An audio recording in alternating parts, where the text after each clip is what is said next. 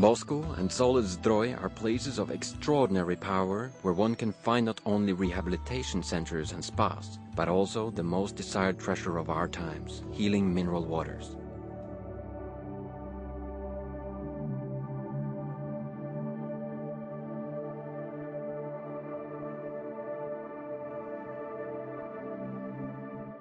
The Przypkowski Museum is the third place in the world just after Oxford and Chicago where you can find such a large collection of clocks. Tourists from all over the world come here to see hundreds of time measuring instruments. The Gothic Opatowska Gate is the only preserved gate in Sandomierz that was part of the original city walls. The royal castle in Sandomierz used to be a residence of the kings, a court and a prison. Nowadays, it's a wonderful museum.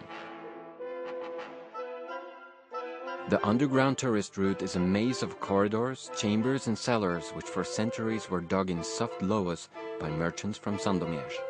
Numerous castles in the area of Świętokrzyskie can make one indulge in history. The castle in Szydłów became known as the Polish Carcassonne.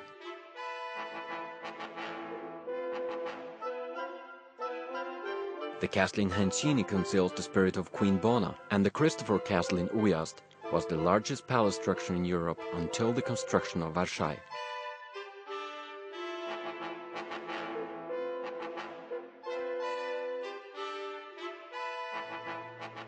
In the nearly 500 meter underground tourist route of the Krzemionki mine, one can watch almost all methods of extracting the unique striped flint, the stone of optimism.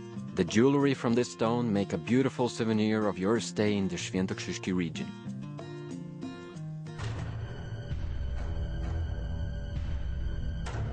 The Łysiec Mountain, known as the Holy Cross, has for centuries been a place of special importance for witches. This is where they held the famous sabbats.